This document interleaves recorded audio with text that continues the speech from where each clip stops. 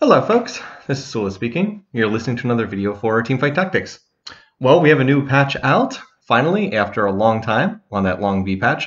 And so this footage is taken from the first night of that new patch.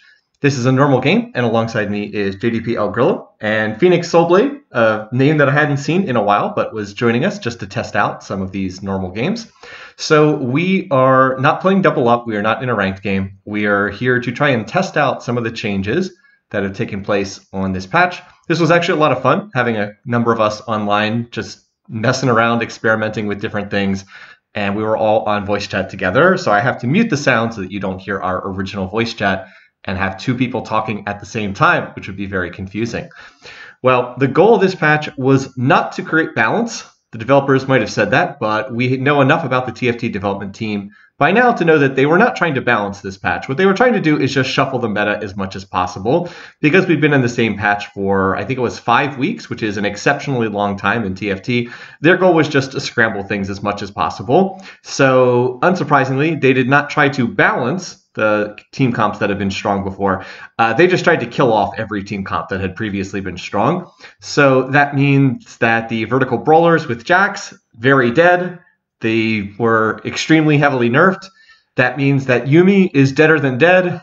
Mascots mascot reroll with supers and uh, and uh, was it mascots and uh, supers is just extremely dead at this point in time. Not really playable. I guess maybe if it's totally uncontested, but they nerfed Yuumi, they nerfed Yuumi's augments, they nerfed the mascot trait, they nerfed supers, they nerfed all the units that make up that team. They nerfed Galio in three different ways. It's just it's very dead. So in its place, new buffs, new things that are popular. In particular, what has emerged in the day or two since this patch came out, as I'm recording this right now, is Mech Sett is very overpowered. They uh, buffed Sett in multiple different ways. Again, this is what the TFT development team does. They do this deliberately. They have said that they don't, but they are lying. Uh, uh, what they do is instead of um, like buffing one thing on Sett, they buff four things simultaneously and make him overpowered. All right, anyway, so we'll get back to that in a minute. We do have an augment to pick. I am going to go ahead and pick the Blitzcrank carry augment. I did a video previously with this one, but it basically turns Blitzcrank into a very, very sturdy tank when uh, it creates this. Uh, it causes the duration of his ability to increase for two seconds whenever he is focused by enemy units. For each enemy unit targeting him, the duration of his ability is increased by two seconds. And Blitzcrank's ability is that he gets damage reduction while his uh, ability is in place. So he's two starred right now. Two star, he has 60% damage reduction. Normally it lasts for four seconds, but uh, you know if he has three units targeting him with this uh, carry augment, instead of four seconds, it'll last for 10 seconds. That actually makes a pretty big difference. Uh, the other nice thing about this is it gives you a Gargoyle Stone Plate. I don't really think it should do that, but yeah, you get a Gargoyle Stone Plate and a Blitzcrank. So, like, I already had the Sunfire Cape. Now I have Blitzcrank with Gargoyle Stone Plate and a Sunfire Cape. So, my goal is just to try to win streak off of this for the early game. And if I have to move out of the Blitzcrank, if I'm lucky, maybe I'll three star Blitzcrank, as they did in that double up game that I put on YouTube a while back. If I'm not so lucky, then hey, I can always sell the Blitzcrank and move these items to someone else later on. But I basically just won that round because they could not that, that team couldn't damage the Blitzcrank at all. And I've also randomed my way into a two-star Gangplank for some reason. So I wasn't sure what I was gonna play. I was hoping the game would give me some direction, but now I actually do have direction, and that's because I was able to find a uh, I was able to find that Renekton. I had a Senna that dropped from an early minion round. And so now I was like, okay, this is going to be a laser corps game. And so that's going to be the focus of this is testing out laser corps. Laser corps, the trait got buffed and some of the laser corps units also ended up getting buffed. Laser corps was the dominant uh, tr- uh, trait in the initial release version uh, set eight. And we were on that patch for seven days. And then we got a B patch that led to the Yuumi and Jax meta that lasted for over a month. So uh, Laser Corps very briefly popular, but mm, has been somewhat out of the meta in this long patch that we were on. But uh, it's actually quite strong. It's back to being a strong option. For whatever reason, Zed got buffed on this patch. It's not clear why. He was doing pretty well already, but Zed got buffed. Vayne also got buffed. So you can play a, a laser corps trait that play or laser corps team that runs six laser corps and plays into Zed. And so I decided that's what I would end up doing in this game. So I'll just be looking to do that. All right, so I'm just going to grab laser corps units. I've been able to find a Yasuo here. I'm going to put my AD items on Senna, and Senna will be my temporary item holder for Zed. So I'm going to build items that are a little bit weird for Senna in the hopes that I can turn them into Zed items later on. And then I've also got this Gangplank 2-star that I just kind of randomly have on my board. But uh, I'd like to put that in on level up because that'll put the Duelist trait in play for Yasuo. And uh, I don't want to play it right now just because I want to have uh, Laser Corps in on my board. Anyway, so in this game with me are Grillo and Phoenix. Phoenix has played very little of this set, so you know she is not probably going to put together boards quite as optimized as what Grillo and I have done because I probably played like 50 games, and as I said, Phoenix has not played much. But uh, Phoenix was looking to play through, I think, Talon. I think this is the first time I have hit. Uh, I don't think I've hit Grillo yet so far in this game. But uh, we were all hoping that we would all do well and hoping we could all maybe try to top four this. Also, Grillo's chatting with one of the other players who said you get support augments more than carry. That is definitely not true. It's just straight 50% chance for either of the two. Uh, the way that the so I, I, guess I can take a minute to explain kind of how the augments work. The TFT developers have not given us any information about how the augments get selected, but people have played enough games that they've kind of cracked the code on uh, how it works. Basically, the game first looks to see what traits you have in. So it starts by looking at the traits you're running. Then after that, it goes to the cost tier. So when you like so for the initial uh, champion augment that we had, uh, you can get either one or two or three cost units. And I believe that it selected one cost units this time because we all, I believe, have one cost champion augment. So uh, the first augment is untailored. I guess I should back up and say that first champion, if it's the first augment, it's completely untailored. It's not connected to your board at all. But for the second and third uh, champion augments, when they pop up, which we obviously won't have in this game, it first looks at what traits you're running, and then it selects a cost level. And then after that, it will uh, roll the champions that fit those parameters. And then whether it's support or carry is just completely random. It's just a straight 50 50. So, right now, if we were to have another champion augment on stage three, it would first look to try to find laser corps, brawler, and duelist units. It would just randomly pick from between them. And then it would try to select them at whatever cost tier it is. So, if it was like a three cost unit, uh, I could get like a Nilah augment because I have the duelist trait or I could get like a Senna augment, but uh, I wouldn't get like a, a one cost. I wouldn't get like an Ashe augment because it would be a three cost. Anyway, we're getting into hypotheticals here. We should probably stick a little bit closer with what's actually going on in this game. So I went ahead and put the Gangplank in just a random two star, makes the duelist straight together with Yasuo. And I'm actually getting a lot of Gangplanks, but I don't want to reroll Gangplank. He's going to come out of this board later on. He is just in there for the duelist trait. And uh, eventually I'll maintain Duelist Trait. He'll come out and I'll maintain Duelist Trait by finding Zed, hoping I can find Zed sooner rather than later on this board. I'm basically just playing through the fact that Blitzcrank is super tanky. I don't really have much damage on my board right now, but I would really like to win this last round. Anytime you win the first four rounds, you really want to win that fifth round so that you can keep that win streak going. I still have not seen Grillo yet, and I do not hit him, and that's good news. I'm hitting someone who's only level four. And actually, they're only playing three units, so I guess that they're just deliberately lost streaking here. Okay. And they also have like four items on their bench, so yeah. They have the Renekton, I think that's the Renekton support augment, or is that the Renekton carry augment? I wasn't able to see very well. But I don't know what that person's doing. Their board does not seem to make a whole lot of sense to, uh, from what I can see. Not really sure what they're. I guess that they're just deliberately lost streaking. But uh, even if you're deliberately lost streaking, you should probably make at least some of the items so that you don't, you know, take a 5-0 loss like that person just did there. Anyway. All right, well, we've got a minion around here, so I've got a minute. Let's cover the actual laser corps trait. That is the focus of this video because we're going to be playing pretty heavily into the laser corps trait. It's a very unusual trait. Uh, this is one of the ones created for set 8 that's not at all like any other trait they've created before. It basically gives you these drones. I'll read the official description. When a laser corps agent attacks or is hit by an attack, so attacks or is hit by an attack, their combat drone has a 50% chance to deal magic damage to the agent's target. It's on a half second cooldown, 0.5 second cooldown. When a laser corps's agent dies, their drone is reassigned to the nearest living agent. So all your laser corps units get drones when they attack or when they are hit by an attack. There's 50% odds that the drone will fire and that is a half second cooldown. Now, basically, people have run the math and looked at this in more detail, and it turns out that unless you just have like an insane amount of attack speed, which none of the laser corps units really have that much attack speed, unless you have some crazy amount of attack speed, it almost always triggers more often by getting hit as opposed to attacking. It's not to say that you can never trigger it by attacking. Like Senna's probably going to trigger the drone most of the time by attacking, but more often than not, you're going to trigger the uh, more often than not, you're going to trigger the laser corps drone by getting attacked. So this is really a trait that works better if you're going to play very, very tanky on your board. It's generally the way that this works. By the way, I'm going to go ahead and just level, and I'm going to toss in the Draven to try to maintain my win streak. And as it turns out, I'm actually up against Grillo this round. Now, Grillo stayed at level 5. We were actually talking about this during the round. Grillo said, I'm, I decided to stay at 5 because I thought even if I hit your board, that I would probably still lose. And I was like, okay, yeah, I think that I beat Grillo's board, but it is pretty close.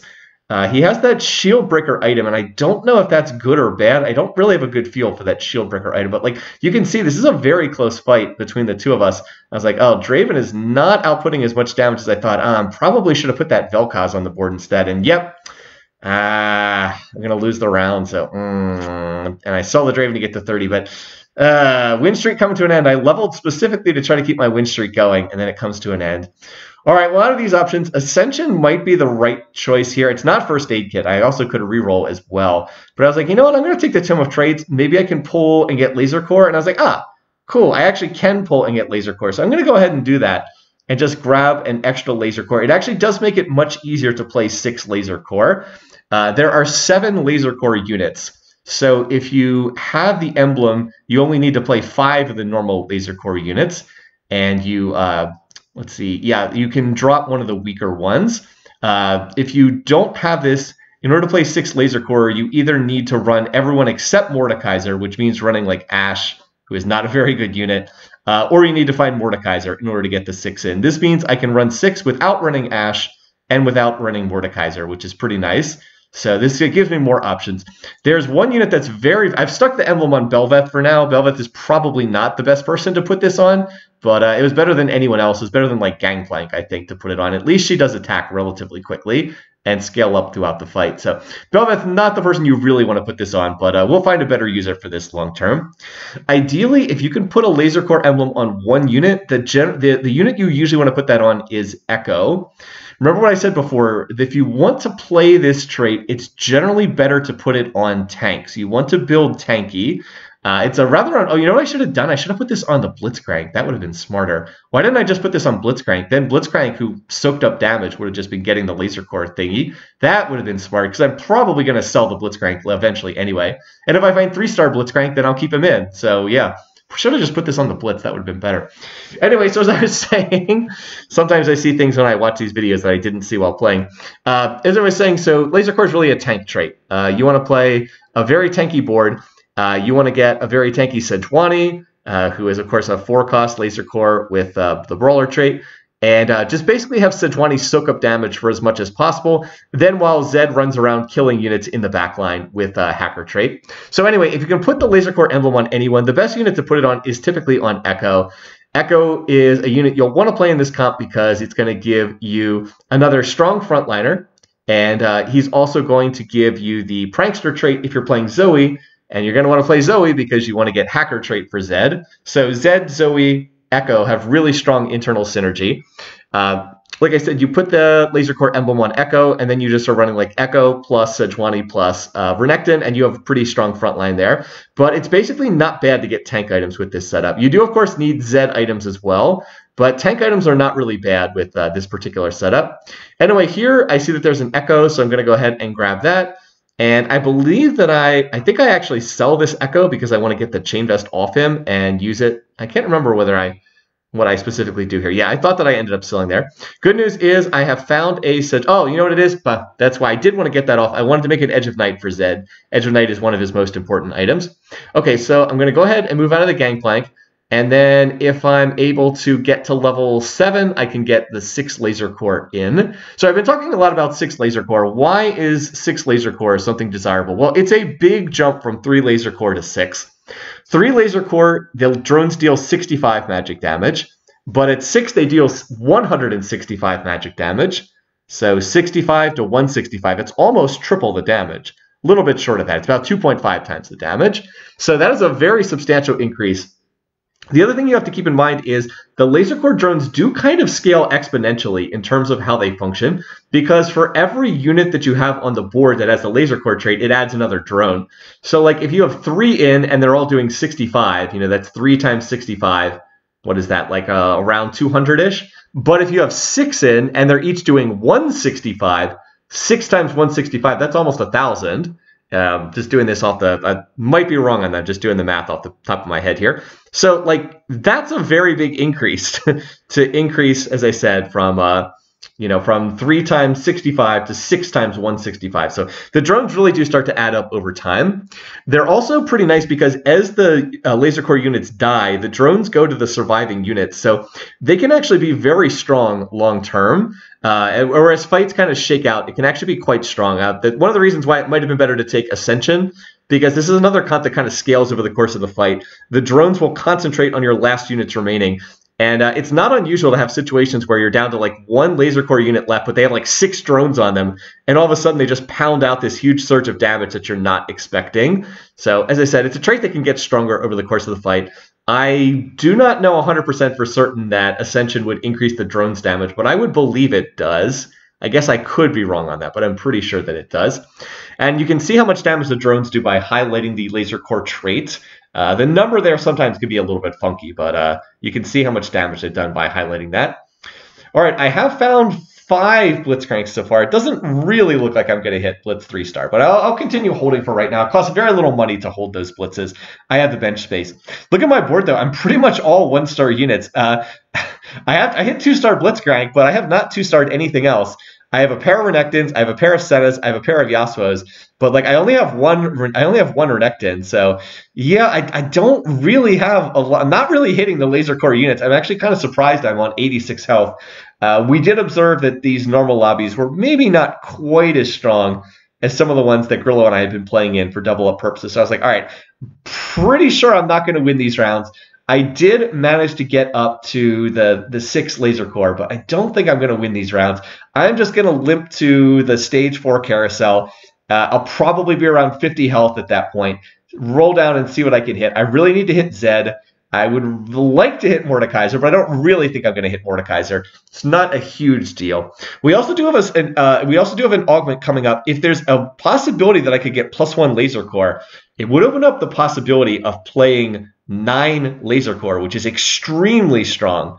But uh, that's unlikely to happen. As I said, there's only seven laser corps units, so you need to get double laser corps emblems if you want to play uh, laser corps nine, and you have to get to level nine or have like a force of nature or tactician's crown, something like that. Because you have to play nine units and they all have to be laser corps. So that's very hard to do. By the way, this person is only level 5, 10 gold. We're like, what is this person doing? But uh, they are actually going to beat me, so I guess I shouldn't complain too much. All right, here I was like, I don't think I want any of these. Let's re-roll, and ah, little disappointing.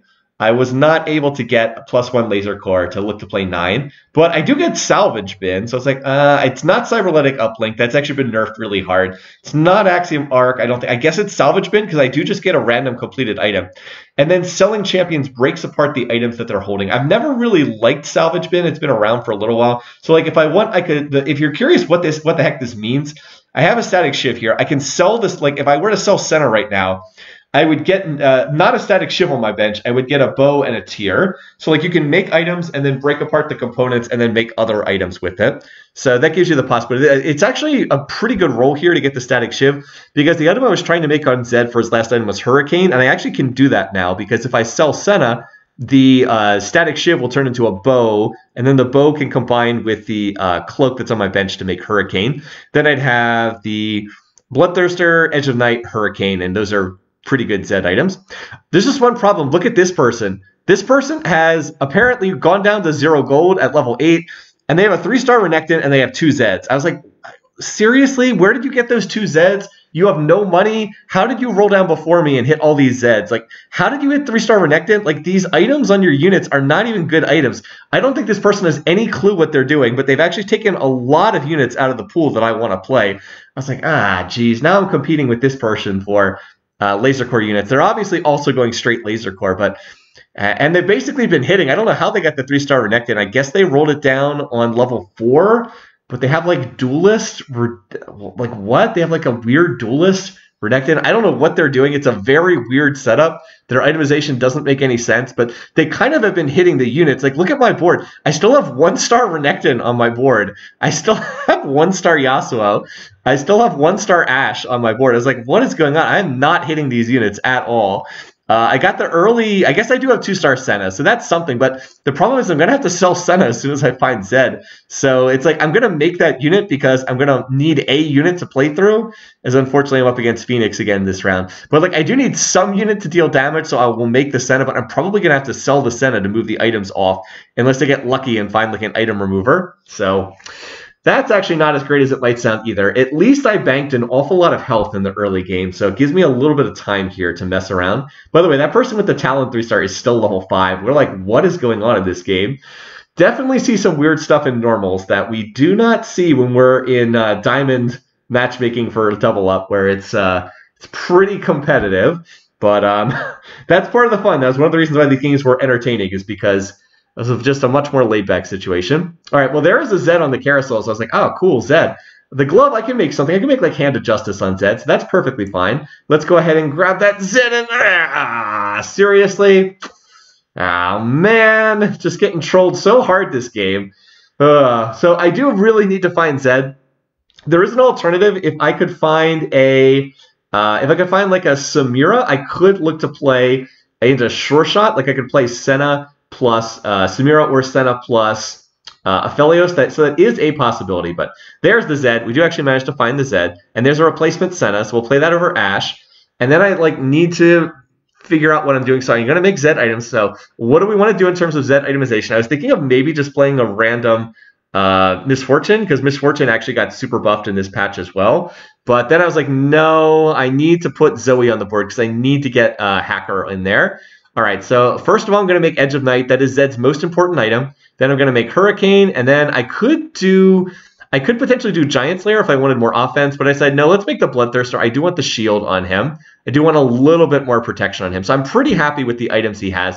Now I have two tears left over. And again, this is the benefit of Salvage Bin. As I said, this is not my favorite augment, but it does give you a lot of flexibility. Problem is, I tend to get a little bit confused. I get dizzy, as, as the kids like to say. uh, get a little bit dizzy trying to figure out how to combine all the items together when you sell them and they break apart. But uh, now I can actually use the two tears for a blue buff, which is one of Zoe's best items. And I'll definitely be playing Zoe because she's going to give me the hacker trait, which I need for Zed. And I'm going to be rolling here. And now I've got some of these leftover items. I have like a leftover Last Whisper. That could go on Senna, I suppose one possibility. I still do have a lot of one stars on my board too, so definitely. Uh, I, do I think I wait until after the minion round to roll here? I do have the possibility of hitting this other uh, other laser core player. They've actually found a Mordekaiser already. I think they took Mordekaiser off the carousel, which I would have taken as well if that if it was still there. I'm not going to hit them this round. I'm going to hit Talon three star. So this person is still only level six. I don't know quite what they're doing. As I said, I've been very confused by the actions of some of the players in this game. It's not bad itemization for Talon, but Talon is just not that strong of a unit, even as a three star. So as long as Zed doesn't get focused by Talon early on, we should be okay. Again, this is why Zed has Edge of Night. It's why Edge of Night is his most important item. It's extremely important that he has that aggression drop, so that if he gets focused, the Edge of Night will kick in and he'll be able to avoid getting focused. So we end up winning that round. And then, oh, oh, oh, there's a Mordekaiser. Oh, okay yeah, we'll just play that. Okay. And there's also a Leona in the store too. And I wonder if I maybe should have played the Leona. Like I could have looked to play Laser Corps Leona, and that actually would not have been bad either. Like just take out Bel'Veth and replace with Leona. But I think ultimately I let the Leona pass here. And I don't know if that was necessarily the right decision. Anyway, I am still looking for another Ekko. I got that one Ekko off Carousel. I have not seen another one, but uh, Ekko would be really nice for my board because with Ekko in here, I get uh, I get the prankster trait in, which adds quite a bit of additional front line for me. And he's just, as I said, a very tanky unit. All right, so we've got another option here. And out of these options, I was like, mm, uh, wow, there's like a lot of different things I can make here. But I was like, I think the play is the sparring glove so that I can make a Thief's Glove on Mordekaiser. I think that's the best thing I can do. And then I end up with like a Static Shiv, which is whatever, but uh, that's not bad. Mordekaiser having the Thief's Glove, I think, is pretty good. All right, so oh, look at this, by the way. So when I sell Note that when I sell the uh, laser corps emblem, it breaks into its two components. This actually confused me for a minute. I was like, oh, I was like, wait a minute, is there a way you can get nine laser corps in? And then I was like, no, no, no, I can't. I can't get nine laser corps in. That was the emblem. It broke apart. That was just due to me having the uh, the salvage bin augment. So note that I will hold the ashe though, just in case there's a laser corps emblem on one of these future carousels. Uh, that would be nice. I'm actually up against Grillo here, and it's awfully close between the two of us, but can we kill this Taliyah? Look at all the drones that Senna has. Senna has so many drones. We actually both thought that I was going to win this fight, but then Taliyah char- chose to target the Senna instead of the Zoe. If she had fired at Zoe, I would have won that round. So Grillo wins a very close fight between the two of us. He's got a, a Star Guardians board there. So, all right. In any case, nope. I'm going to make the Laser Corps emblem again. I actually don't need to play Renekton right now. I already have two Brawlers in with the Blitzcrank. And there's the there's the Ekko. So I will move out of the Zac. We'll just put this right back on Zac again. And there's another Ekko in the store, so I should play that. And I've got the Sejuani. And oh my god, there's another Mordekaiser. Okay, that's two out of three Mordekaisers. That's pretty good. And I've already hit Senna two star, so we don't need that. Unfortunately, I'm not hitting Zed, so that's a little sad. And I guess I should just go ahead and make this static shiv. I also should put Mordekaiser a little closer to the front lines. So I was like, all right, I guess I'll just put this on Senna. It wouldn't be bad on Zoe either, but uh, Zoe does not have the laser corps trait. By the way, if you get another laser corps emblem, the first one you should put on Mordekaiser, but if you get two of them, Zoe is the best target to put the second one on because you want to play Ekko and Zoe in this board anyway. By the way, it probably looked like I was going to lose that run, but uh, Zed has the aggression drop with Edge of Night. He gets every single laser corps drone following him around, and they just do more damage than it would initially look like. So anyway, I am rolling to see mostly if I can hit the Sejuani two star. If I can hit Sedge two star and Z- oh and Zed, I need to hit Zed as well. By the way, there's an Aphelios, so there is that sure shot option, but I'm going to pass on that. There's another Zed. There's another Leona, by the way. Maybe I really should have played the Leona. All right. So if I could just, now if I could just hit the Zed, come on, can I find this set? I would really like to. All right, there we go. Thank goodness. All right, now I can stop rolling, and now the play is definitely go to level 9, because at level 9 we can look to play uh, Mordekaiser 2-star. We can look to find another Mordekaiser and have them Mord 2-star. All right, now look at this other person's board here. This is an extremely popular board in this particular patch. So I mentioned that Sett got buffed really, really hard. And so people are just playing mech Sett for frontline, and then four aces is also very, very popular. Now I was actually able to beat that because Zed was able to get in the backlines and kill the miss fortune. But miss fortune was buffed very heavily in this patch, and four aces has now become very, very popular.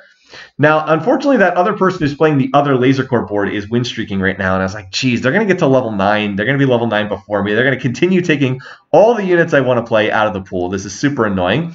But the good news, there's a Mordekaiser on Carousel. I was like, ah, look at this person dancing around near the Mordekaiser. Are they just going to take this? Because that's Mordekaiser 2 star if I can get it. And the Deathblade will pop off. All right. Fortunately, they didn't take it. I don't know what they were doing, dancing around the Mordekaiser, but uh, they didn't take it. So that's Mord two star. That's awesome. Deathblade pops off. Now I can go on a more useful unit. I'll just put it on Senna because out of all the units I have, she's kind of the only one that deals AD. So let's go ahead and stick that on her. I could break it apart into two swords, but I don't have any use for doing that right now. But uh, yeah, I do actually have uh, some additional swords here. And I'm now slated to be up against either Grillo or my doppelganger. Unfortunately, they're level 9. Uh, the good news is their Zed is horribly itemized. Zed's items make no sense over there on the board that they're playing. So I'm going to try to, I'm going to assume that I'm up against them. But it turns out I'm actually up against Grillo. So I guessed incorrectly on who I was going to be up against. But I placed the Zephyr to try and hit their uh, Zed over there. So now the question is, can my Zed kill the backline here? or will he get just get popped by the Taliyah? Big difference is I now have Mordekaiser two star. Mordekaiser got buffed in this patch. Mordekaiser got a lot stronger in this one. So it looks like I beat Grillo's Ghost very easily. But of course, Grillo was not positioning for me in that round. Although to be fair, I wasn't positioning for him either. Now it looks like we're going to be down to just four players here because one of the players just got knocked out. So it's Grillo and me and then it's this person who's playing the super annoying laser corps board. At least I'm going to hit two star ekko there. Uh, and it looks like I'm up against Grillo here. So uh, one of us is going to have to take the loss. The good news is Mordekaiser's rolled insanely good items this time around. He has a chalice, which I don't really care about, but the death cap. Death cap means he's going to hit insanely hard. Mordekaiser, uh, if you're unfamiliar with his ability, he is a legendary unit in this set. He has the ace trait, so he'll execute units under 15% health. And uh, he basically drops a building that shreds the magic resistance of everybody that gets hit. It is a 50% magic resistant shred. He is a very important unit to play on a laser corps board. You want to get him if at all possible, not just because he's a 5 cost unit, but also because he shreds the magic resistance of the whole enemy team. Remember, the drones deal magic damage. So, you know, that he will increase the damage that all the drones do. All right, there's the building cross. Oof. That was a lot of damage. An awful lot of damage. So even though Mordekaiser's pathfinding was pretty terrible in that fight, he like walked completely around the battlefield. Grillo got pretty unlucky in terms of what items uh, he rolled on his on his uh yeah uh, what items he rolled on his thief's glove. And uh, oh look at that the uh, my doppelganger the other laser corps player finally lost a round. Excellent, excellent. That's what we want to see. I have not actually matched up against them in a while. I'm hoping I can win the, the mirror match. This time Mordekaiser's rolled tank items, which is pretty hilarious. All right, so I'm just trying to go to level 9. At level 9, I can just probably toss another random legendary unit. Like, I'm going to grab this Zac. It could be Zac. Probably not that useful, but uh, we'll see what it is. I mean, probably the most useful would be Leona. The other alternative would be Fiddlesticks, just because the designers buffed Fiddlesticks really hard in this patch, and Fiddlesticks is now stupidly overpowered, so you should just always play him if you ever get him. Like, it doesn't matter the team comp, you should basically play Fiddlesticks. So I would also look to play that. But I, have kind of two-starred my whole board, so there's no pur- purpose other than going to level 9. There are some decent options here, like uh, uh, the Giant Slayer would not be terrible for Senna, but I'm not really playing through Senna. So I was like, let's just take the generic option of a Shroud of Stillness. That's going to be useful against Grillo's board. Again, we're having fun here, but we are still trying to win, still trying to make a good faith effort to win. And uh, oh, I am finally going to move out of the Blitzcrank. I thought about when to do this. Since it was clear I was not going to hit Blitz 3 star, I'll just move out of that. I put the Renekton on the board just to maintain the uh, laser, just to maintain the Brawler trait. And the Renekton actually is someone I can now put the Shroud of Stillness on because I can move him wherever. It doesn't really matter.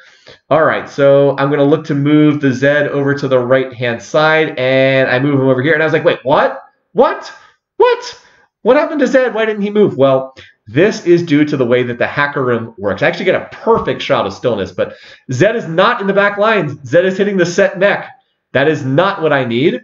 And look, we're going to get the Miss Fortune super low, but oh, Mordekaiser throws his building at nothing, does not hit the back line. I should have won this round, but I end up losing it because of positioning. Super annoying. So what happened there is I moved the hacker room at the last second. If you move the hacker room, the unit attached to it moves. But if you move the hacker onto another unit that's already there, it just changes which unit is getting sent into the back lines. Like, look, watch. That moves Zed, that moves Zed, that moves Zed. But if I move right there, it doesn't move Zed, it just switches the target. I was like, Jesus, that's confusing. Why does it work like that? So, yeah, that's the first time I came in contact with that particular mechanic. And unfortunately, it caused me to lose a round. I almost certainly would have won as I said, that person did not dodge my shroud of stillness. I got a perfect shroud, but unfortunately, Zed did not move the way I wanted to, and so I lost that round. So now we need to look to try to get revenge against my doppelganger here. Again, I do not think this board is very well constructed. Zed does not have good items at all. I mean, I guess they're passable, but they're certainly not good. And the Renekton has fallen off pretty hard by this point in time. So anyway, I go in the back lines. Zed is going to kill the Vel'Koz that they've got back there. And this is not really a very close fight. We're going to win pretty easily and finish off, well, not finish off that player, but deal some damage. now, in this fight, I'm rooting for Grillo. I'm hoping that he can win, but he was not able to get through the Sett mech, unfortunately. And so now I'm going to be up against him because it's around, when there's four people in the lobby, it's a round robin. So now I'm going to look to have to try to position for him. Grillo, of course, is going to try to position for me as well.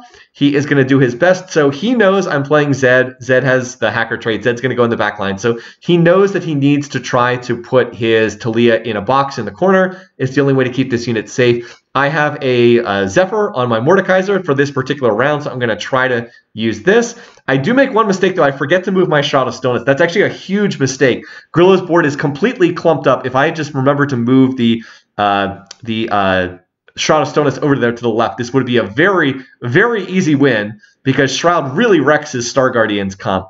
So it's going to be a much closer fight. Mordekaiser gets off the big ult. Unfortunately, my Zephyr ended up hitting the uh, the Syndra on his team, not the Taliyah. This is very close, but oof, my Zed just barely clutches that out, and that was bad positioning by me. So unfortunately, I knock out Grillo. I wish I had not knocked out Grillo. I would have much preferred that the two of us could have maybe top two in this lobby, but nope, not going to happen. And then here I was like, uh, I don't want another Shroud of Stillness. I was like, is it the Thief's Glove? Maybe, but nope. Round actually times out really fast, faster than I thought. I ended up getting the Duelist Emblem. I was like, ah, well, that's not very useful. I can't really do anything with this Duelist Emblem. So now I'm like, all right, I guess I'm just going to roll here, just put like another Legendary unit on the board. Unfortunately, this other board is really really win streaking at this point in time because they've got the four aces going. So I was like, I think Leona's probably the best unit I can play. Can I find the two star Leona? That would be pretty good. Fiddlesticks would also not be bad. Oh, I actually can get the two star Leona. I was like, okay, so I'll look to play that. Now I want to get the Shroud of Stillness. I need to get Zed positioned to jump into the back lines. And do I have enough to beat this board? Oh, they moved their Miss Fortune. That is unfortunate. I need the Shroud to hit MF. I need Zed to be on MF. MF is insanely strong in these uh, four aces boards after getting buffed. And Mord, Mordekaiser, you missed the Miss Fortune. If you hit Miss Fortune, we win the fight. But no, you missed the Miss Fortune. Zed is stuck on the Sett mech. So, I mean, it's close, but do we have quite enough to finish this? No. No, we don't. So I was like, ah, man. But uh, it turns out, remember, I have a spatula on my bench. And Grillo and uh, Phoenix, who are still watching this, were like, wait a minute.